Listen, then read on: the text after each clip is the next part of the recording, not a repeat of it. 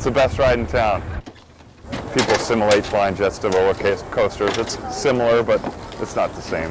Thanks, guys. Lieutenant Craig Olson is number seven of the Blue Angels. Well, luckily I don't drive like I fly, or I'd get a few speeding tickets. For Olson, he's living a childhood dream.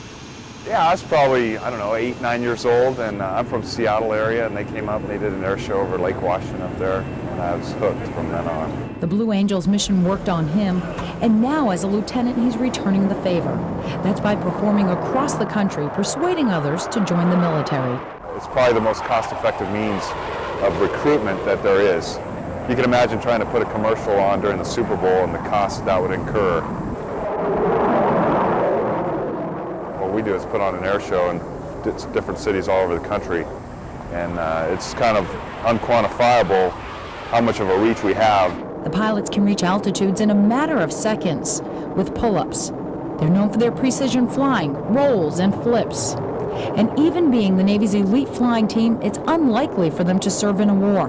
But if they should be called, they could form into a squadron in less than 24 hours. The jets are certainly capable. We just flip a switch and they're ready to go. The pilots are all trained, although it would take me a little more training to get back up to speed. I don't see it happening. But they do get to see the U.S. in many ways we don't. What does Knoxville look like upside down?